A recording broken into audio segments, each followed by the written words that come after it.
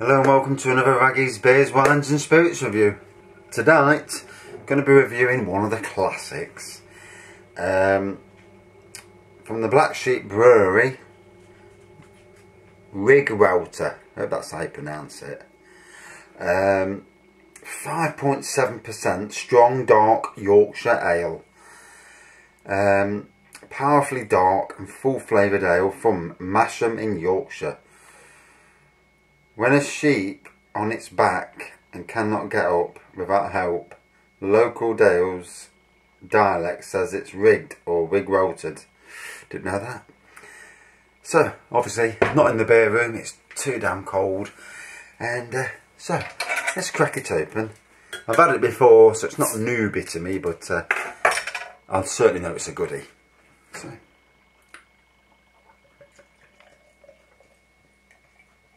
Different glass tonight. Uh, Foster's glass I got from my Sainsbury's days. So, slightly tan head. Um, I'd say that's a dark amber colour. In this in this light anyway. Sometimes the light, you know, these cheap, um, these low voltage lights or you know LED jobbies can't always get the true light. I can certainly see like me, the uh, receding hairline on my head. That's about I can see. So yeah, there it is. Nicely does it. Just trying to get angles right in here. Uh, right. Malty smell from the from the off. Or aroma, you know, smell.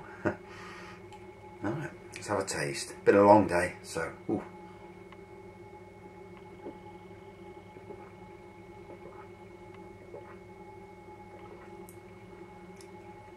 Lovely malty uh, flavours as well. Can't actually pick out um, the flavours, but certainly a good, strong malty beer. So, going off on a tangent second, uh, my son comes up to me the other day, says, uh, "Yeah, Dad, um, I'm thinking about buying you two um, uh, beer collections for Christmas." I says, "Yeah, that's great. You know, thanks." And he showed me them, on Amazon. And uh, you get 12 beers in each collection.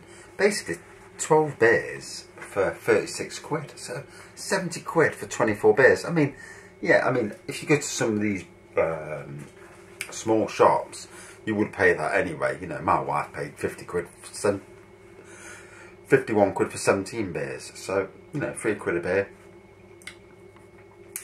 so then I thought well why not utilise um, some of the online delivery? Um, so I went on Waitrose and they're doing an offer. Um, £20 off if you spend over 80 quid.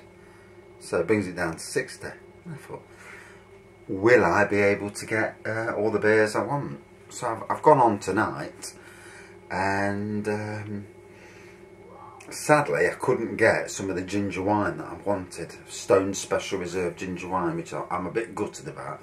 But it means I've got more beers. And all these are new beers, never reviewed any of them. So, you know, in that way, brilliant. And some beers never even heard of before. And uh, basically, I've got for, it's worked out to 70 quid and 25 pence.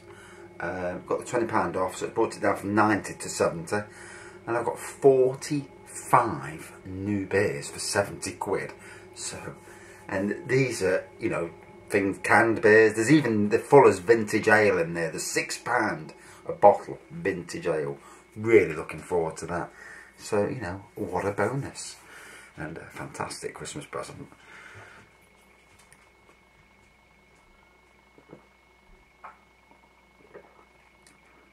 So, quick look on the internet.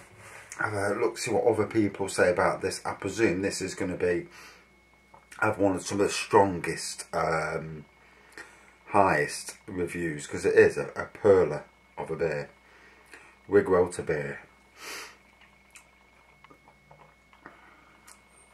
So for on ratebeer.com, as you can see, yeah, 3.5 out of 5, which for an aggregate website is a good score. Um, 740 ratings, that's fun. And uh, they, they say it's their second best-selling bottled beer. Uh, aroma is roasted malt, hops and banana fruit. Wow, didn't smell the banana. Taste, this strong, velvety, ruby brown beer really is a wolf in sheep's clothing. It is deceptively, deceptively clean drinking with a wonderful complex palette of coffee, bananas and licorice which rewards you with a long dry Goldings hop finish. Ingredients, we use a base of Maris Otter malted barley but add plenty of pale chocolate malt to give Riggwelter its rich dark colour, espresso nose and roasted malt flavours. That's better, I can see now. Um, we use a touch of wheat which helps deliver the lovely creamy head and lacing down the glass. Just what you would expect from a proper Yorkshire beer. Aye. All our bottled ales are suitable for vegetarians and vegans. What's in a name? And then it says about the sheep jobber. So, on reviews. Clear dark brown with a small head that doesn't last long. Uh, that, that's correct because the head has gone. Uh, the nose is profoundly malty. I got that straight away. With bread, dates, plum, caramel and whiskey. Whiskey? There is very little sweetness on the tongue. The beer, this beer is dry and fairly bitter. My only gripe is a little too sour finish. I would certainly buy this one again. And another one, 3.8 out of 5. Uh, pretty good strong ale, light on the tongue, dark in character, a little chocolate, a little fruit and a mild grassy hop afterburn. Tried at Anouk's birthday party, whoever that is. Um, another 3.5. Ruby red pour. So yes, ruby red rather than the dark amber.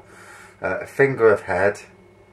That could sound wrong in that could sound really wrong in the uh, you know Not getting any aroma. Yeah, I got a malt, but I didn't get much, you know. It's uh, toasty, pleasant chocolate, cherries, cookie malts. Dry but not very bitter. Tasty treat to find this randomly in Russia.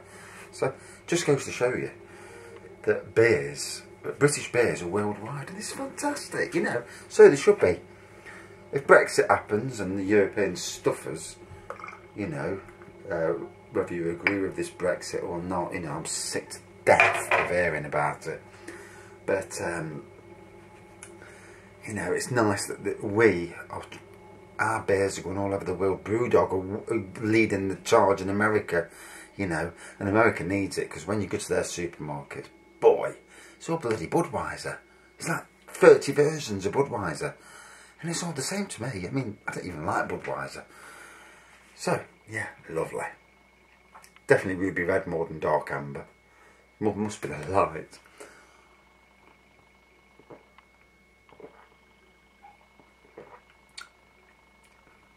And the one good thing about drinking it in, you know, in a warmer condition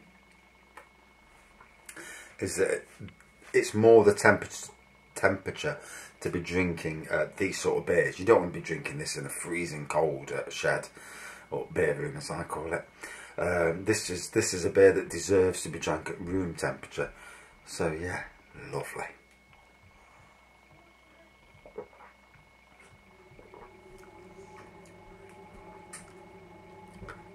Definitely getting a hint of banana, not a lot, but a hint. I'm trying to see if there's chocolate and cherries and all that. You know, because when people say they can get that, you think, well, can I get it? You know, they can get it, surely I can. Uh, when I was on a wine tasting course, first one I went on, uh, the, the teacher was fantastic and he was coming out, he was saying, I can taste this and this. And we were all looking at each other thinking, yeah, well, I can't taste nothing. And then as you go on, you can actually start to taste it. He sucked it through his teeth. Had a bit in his mouth, sucked it through his teeth. And it accentuates the uh, flavour, you know, it really ramps it up. But it's not easy to do, and plus you look a prat doing it.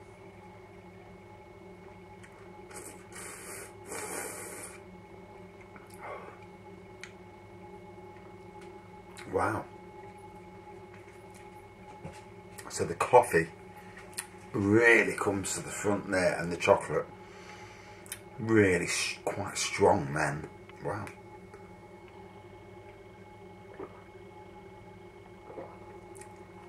So Black Sheep Brewery do a lot of nice beers, you know. Um, obviously they've got the, the standard Black Sheep Pale Ale, bitter and whatnot. Uh, they've got that Yorkshire Square Ale. They've got Venus and Mars. And I've reviewed quite a few now. Some really good beers uh, from them. And uh, Welter's probably, I would say, the best beer that they do. Uh, for somebody like me who likes, prefers stronger beers and certainly darker beers, um, yeah, it's certainly down my road, definitely.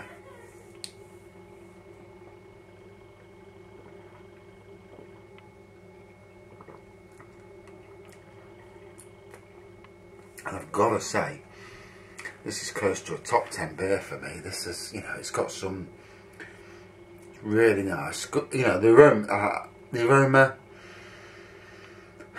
it's there, but it's not, I won't say it's overpowering, or there's a lot of it, you know, so that's probably the only weak side of it, taste-wise, oh, brilliant, you know, all the way down the glass, absolutely lovely.